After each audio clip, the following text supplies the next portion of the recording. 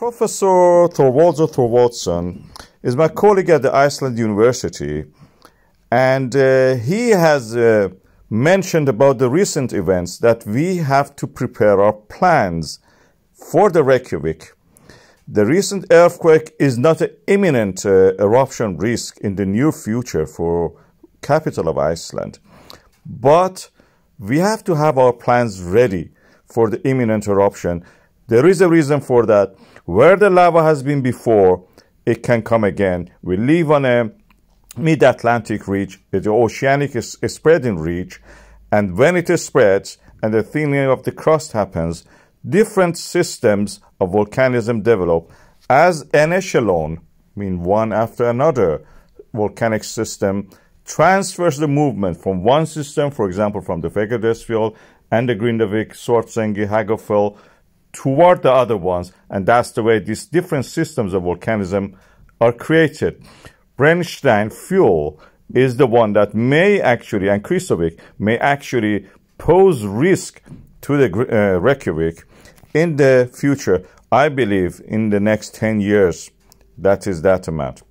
We have a natural risk assessment for Iceland where we have shown the hazards and the likelihood of that hazard happening.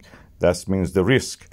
And these are available in a very coarse way for all of the Iceland. For, for example, for flooding due to the uh, glaciers melting, for earthquake, and for landslide, subsidence, and such things. We don't have it specifically for the capital. We have to prepare that lava has been there in the past, and people have built their homes developers, those big companies who build houses, they have built some around that. Unfortunately, this example in the Grindavik shows that this is not something imaginary in the future. This can happen. We have to have our plans ready for this. And when you have your plans ready, that means you can approach insurers to insure you according to the risk. Based on that, you can actually get compensation. If you don't have done that properly, you will enter a pit hole of all the troubles, like what we may have in the Grindavik. Get a survey. This is a risk assessment preventive measures.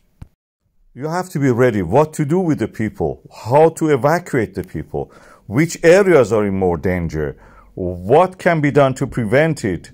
Do we need any, any barrier around the town? Where it actually may touch the town.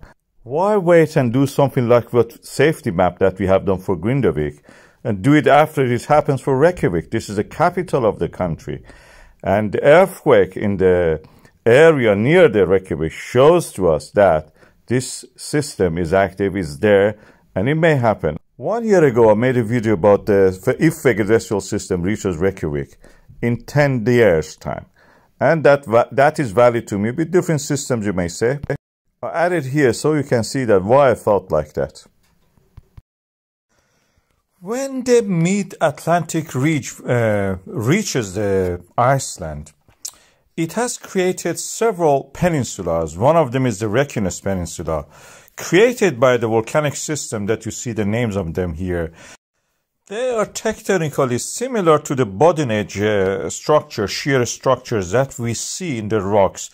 Is extension creating fault lines, and the fault lines through them the lava may erupt.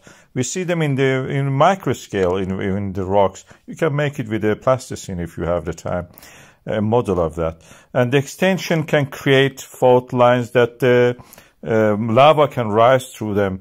In the case of the um, the systems, these systems are directly connected to the mantle. Fagradalsfjall volcano was a, such a volcanic system. We found that with this discovery that this Fagradalsfjall was connected actually to the earth mantle through a dike. The dike is feed, fed by the mantle.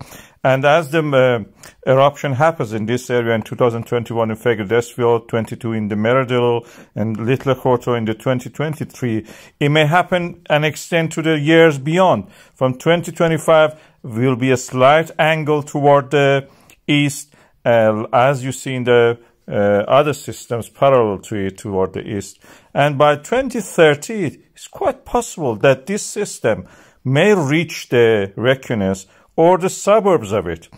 this is the day that you will see the volcanoes actually erupting inside the town or near the outskirts of the town. This is a scary scenario. And this is one of the several scenarios that may happen. This volcanic system may not reach as far as the Reykjavik, uh, but in this model that I presented, if it reaches there, that will be just outskirts of the town.